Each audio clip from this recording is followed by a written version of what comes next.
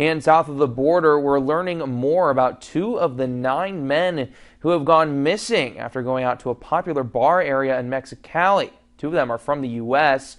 This weekend, the parents of the missing men protesting outside the clubs and bars where the men vanished without a trace. They went missing April 8th when they went to the Shots Club, along with his friend and another young man who also went missing. Witnesses say the victims went to the bathroom and never returned. The parents now are asking the U.S. government to help.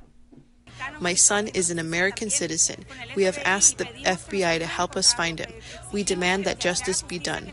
There has been an intervention by the government of the United States. They have requested progress in the investigation from the Mexican prosecutor's office since January, and they have not responded. The statement of the two witnesses who were with my son has been given, but nothing has happened. The protests this weekend ended early with people setting the shot club on fire. It was heavily damaged. Other clubs in the area are now also closed down.